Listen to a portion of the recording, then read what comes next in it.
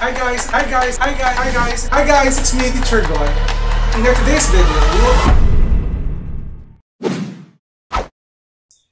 Hi guys, it's me, Teacher Gon. In today's video, we will talk about the perimeter of composite figures. When we say perimeter, it is distance around a plane figure or a two-dimensional figure. So without further ado, let's do this topic. So basically guys, these are examples of composite figures. And our task here, or our main focus for this video, is to calculate for the perimeter or the distance around these composite figures. And one thing that you need to know or to be remembered, or you need to remember, is that you need to be organized in calculating for the perimeter of composite figures. Don't worry because this one is quite easy if you're organized in calculating this kind of thing. So basically guys, all you need to do is to add all these numbers for the perimeter. So in my case, I will start at the top of the composite figure. So I will stop, I will start with 3 centimeters. Plus, you will add the other measurements.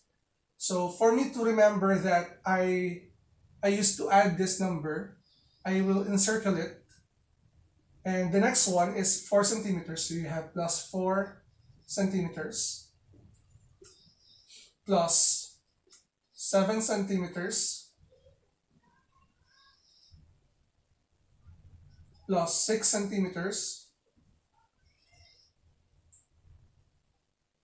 plus 10 centimeters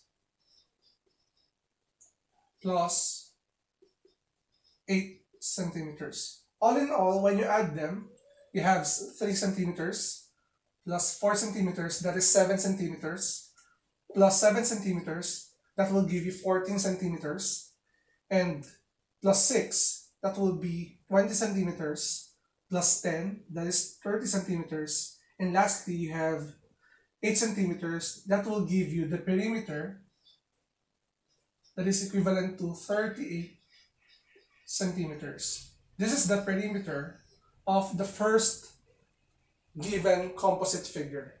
So let's move on with the next one. We have this composite figure, and as you can see, we are missing some parts of it that will lead us to the perimeter of this composite figure. But don't worry, all you need to do is to figure out what is the missing measurements. So as you can see guys, um, this side is 9 centimeters. So we need to know what is the measurement of this side and this side for us to calculate for the perimeter of this composite figure. So imagine this is my way on how to do this. I will draw an imaginary line here and here wherein as you can see if you will connect or we will add this imaginary line this line which is 5 centimeters that is equivalent to the 9 centimeters. So we will assume that the measurement of this one is equivalent to the measurement of this side minus the measurement of this side. And that is 9 centimeters minus 5 centimeters. Therefore, this is 4 centimeters. And as you can see, they are parallel. So this one is 4 centimeters. Okay? So as for this measurements naman, for this side, this is 12 centimeters. And as you can see, the length of this side is equivalent to the length of this side, which is 4 centimeters, and this broken line or imaginary line. So we can say that the measurement of this side is equivalent to 12 centimeters minus 4 centimeters, and that is 8 centimeters. Therefore, this is 8 centimeters. So I can erase this one. So we can fully um, solve for the perimeter of this given composite figure. So we have the information that we need. So you have perimeter is equal to, I will start with 4 centimeters.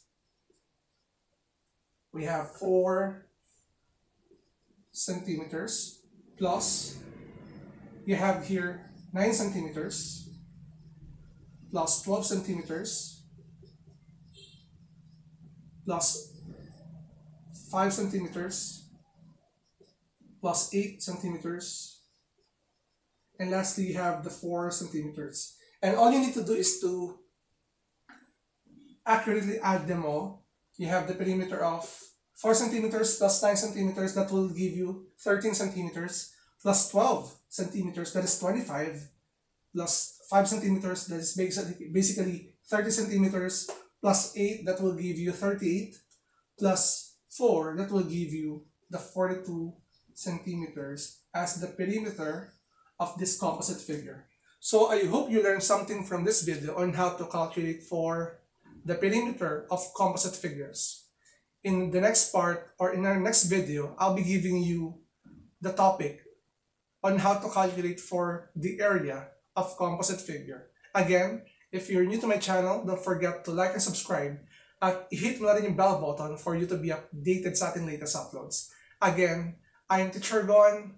Maraming maraming salamat. Bye-bye!